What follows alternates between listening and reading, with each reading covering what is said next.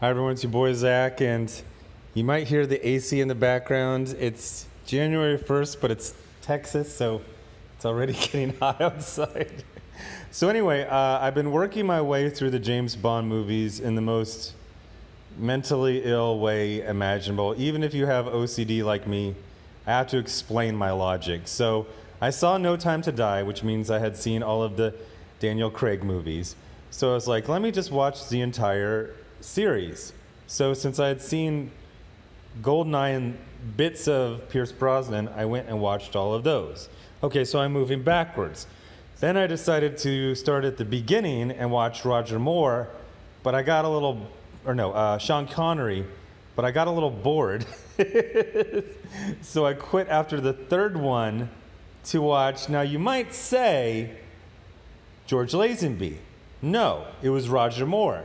Now you might say I watched them in chronological order, but no, in my mind, uh, since I went to, I saw, uh, I've been listening to the James Bond theme songs. So sometimes people do like fan um, remakes of it, where they'll do, it's actually pretty cool. They basically make their own version of the movie. It's like a music video, but it's not the original music video, but it's just using the scenes. So I saw A View to a Kill, the fan remix uh, Duran Duran song uh, video, and I was like, that looks okay. So then I watched the last Roger Moore movie. Then I worked my way backwards through the Roger Moore movies, and then I went and I watched the Timothy Dalton movies in order. Wow! oh man, that is completely insane. Uh, so, anyway, I watched both of them. There's only two.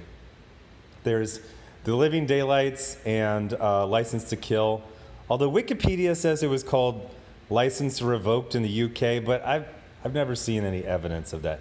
There's a lot of, when you watch these, I mean, I watch on Amazon Prime, so it will give like these, uh, you know, video uh, uh, trivia on the side. And like I'm watching on Her Majesty's Secret Service, and they're like, they talked to uh, Timothy Dalton about what? It was in 1969. He would have been like 20. I don't what? I don't believe that. So anyway, Roger Moore uh, stopped uh, with A View to a Kill in 1985, and then they had um, uh, oh my gosh, The Living Daylights in 1987 and they had uh, License to Kill in 1989. And then there were no James Bond movies for six years. Now, I actually went with my family back in the day where families would go to the movies like two or three times a year.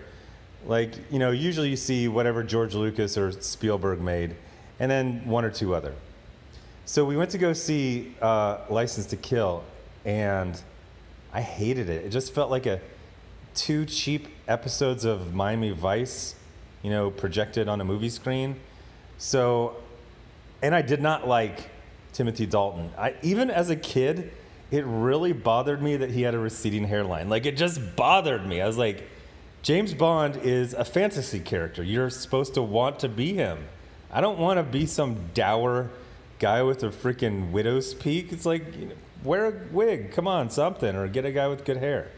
Um, so, and it was just boring. And like the last 30 minutes are like these semi trailer truck stunts. You're like, what is this? this is it. so, um, but I would consistently hear when I started talking about James Bond, the like tried and true James Bond fans, they would always say, they're like, Timothy Dalton is the best James Bond. If you read the novels, he's the one that's closest to the to you know the real original James Bond. Now I haven't read the novels, but I've you know done some research into them, and it it does seem like that's true. Everyone else is kind of like bemused. well, Daniel Craig is just kind of bored of being Bond almost from the beginning, uh, but everyone else seems like bemused that they're Bond. It's like they ironically know that they're a character, and they're like, "Oh, this is just light entertainment." Um, but you know, in the world of Bond, Bond doesn't isn't bemused by being himself. So, um, uh, so all the like quote real James Bond fans, like almost all of them say the same thing. They're like Timothy Dalton was the best James Bond. That's what James Bond is actually like. Uh, so I was like, okay, that's interesting because I remember as a kid seeing his second movie. My assumption was always that people just didn't like him for the same reasons I didn't like him. But I guess it, no, it was some sort of rights issues and funding. It, it was it was basically boring business and legal stuff that delayed making the third movie. And then by the time it was to make the third movie, it had been so long that they needed to do another contract.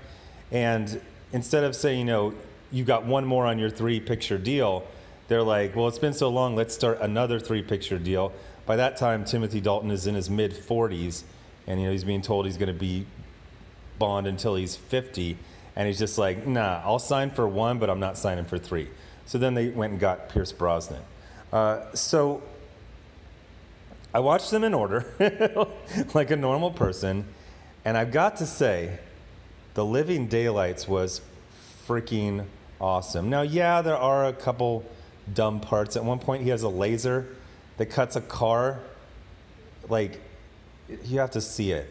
Like, in I can see how the screenwriter thought it would work, but like, it cuts a car, but then the chassis goes off of, or what do you call it? The body goes off the chassis, but the tires aren't cut. It's stupid. Anyway, so it's uh, it's a soft reboot. No, it's not even a soft reboot. It's I don't know.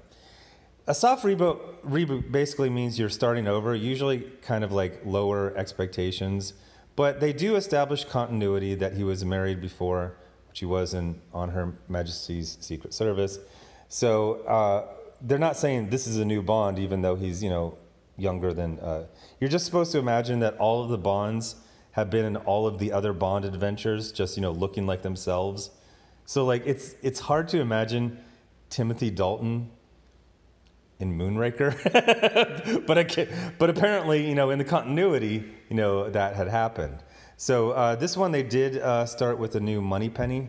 By the way, not to be mean, but it was absolutely shocking to me when I skipped to A View to a Kill and you saw the same actress playing Moneypenny for like 22 years and she's just like this old lady like flirting and being like single. It's like, oh, that's depressing. So they recast um, Bond, Moneypenny, uh, although she's she's barely in these movies, um, and uh, uh, not Q. Was M recast? I can't tell any of the M's apart until they uh, Dame Judi Dench. Like they're all just like old stuffy white dudes, which I think is you know probably makes sense you know for that role. Uh, but so the Living Daylights was just like freaking awesome. I think even if you don't like James Bond, you will like this movie. Now I actually really like the Daniel Craig era. Uh, but uh, well, right now Roger Moore is my favorite, and I'll do a whole video on the Roger Moore era. But um, I really like the Daniel Craig era a lot.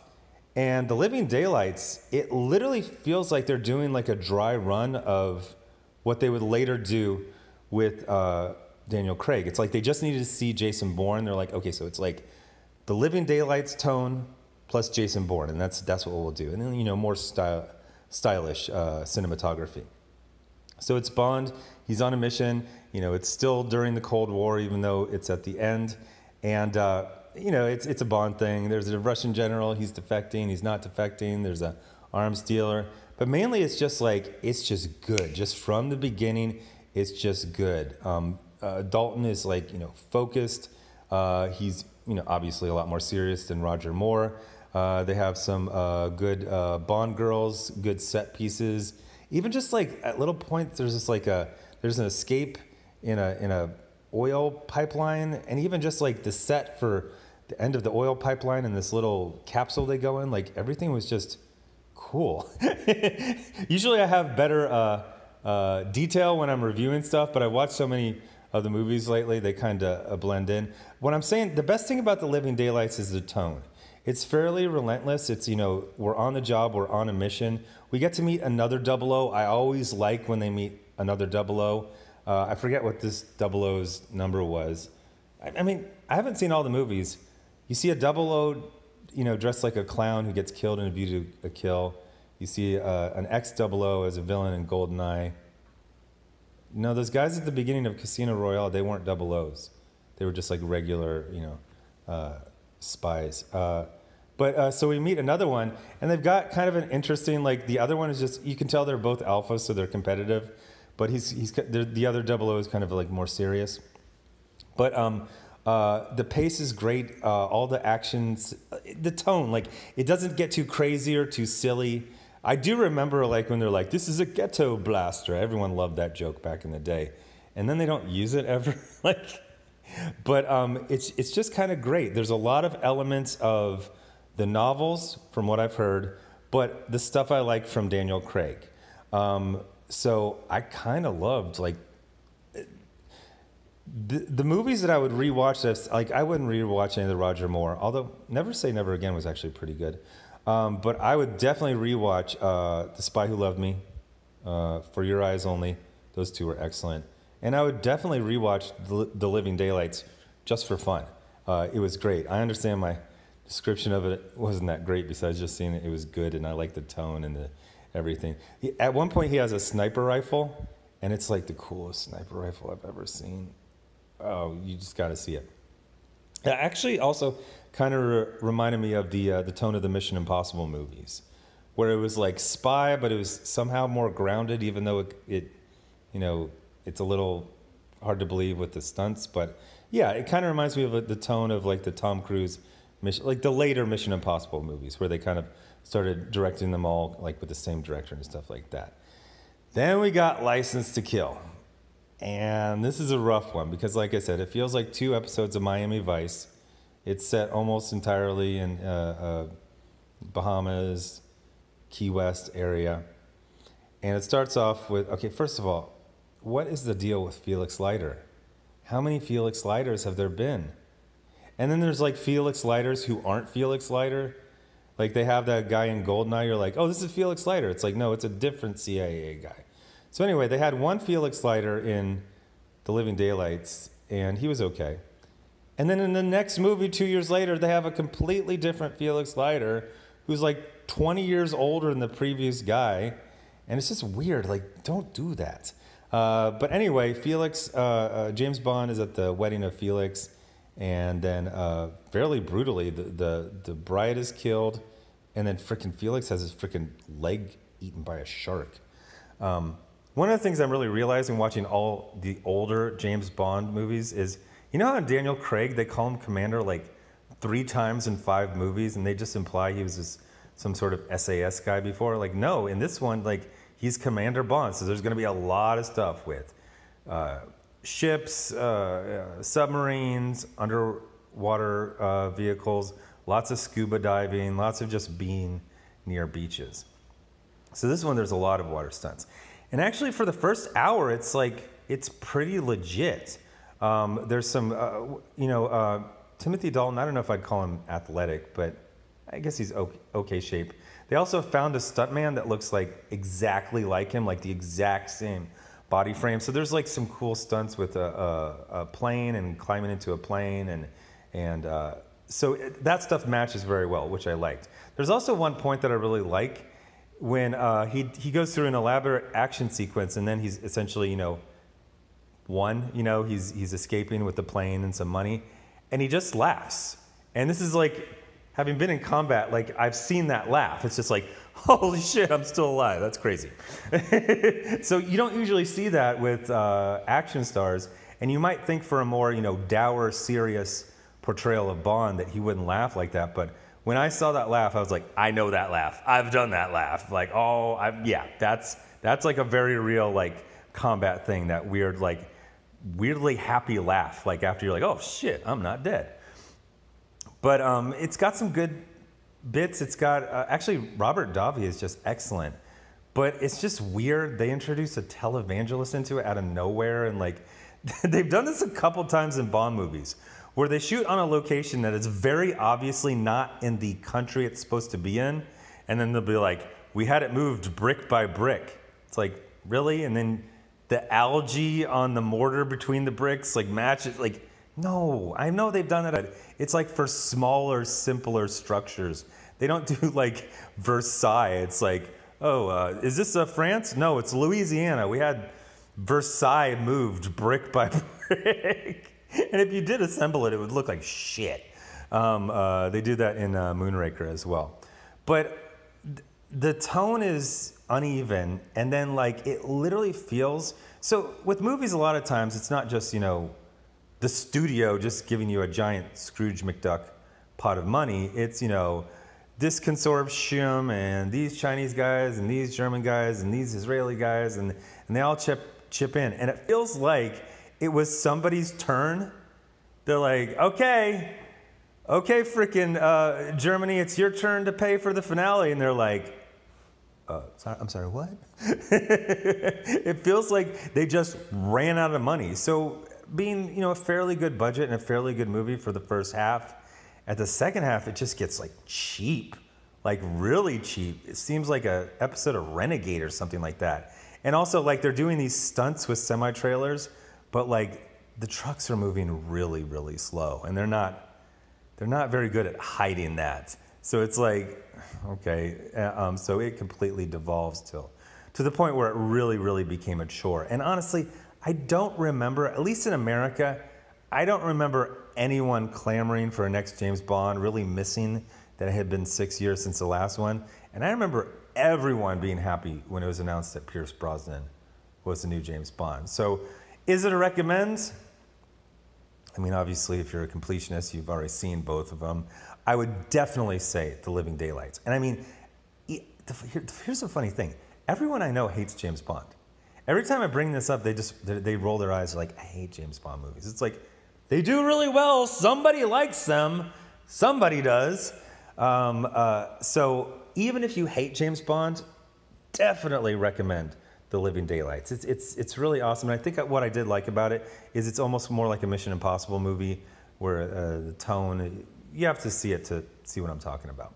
Um, I really can't recommend License to Kill. There's some cool stunts in there. just go on YouTube and find that scene. Just type in Living Daylights airplane Bond or something like that, and you'll see like a, some cool stunts. There's actually some cool kills in there. Um, uh, and it just doesn't work as a whole. There's something kind of weird and off about it, and it's it's just kind of like a bummer, man. But um, overall, and I'm not even kidding. Timothy uh, Timothy hairline, Timothy Dalton's hairline in the sec. It's only two years after the last movie, and he, he lost a bunch of hair, and they're they literally like comb it. No, he's a fantasy character. You know, he, he, he, he does not he shouldn't look like a divorce lawyer, which is what he looks like. Um, uh, so that's why wigs and toupees and hair systems uh, matter. It's a visual medium and it's a fantasy genre, even though you know it's it's spy. It's a fantasy because nobody really lives a life like that. Um, so uh, I can't recommend both of them. Definitely recommend Living Daylights and yeah, License to Kill. No. So uh, next video will probably be uh, what's wrong with on Her Majesty's uh, Secret Service. Thanks for watching.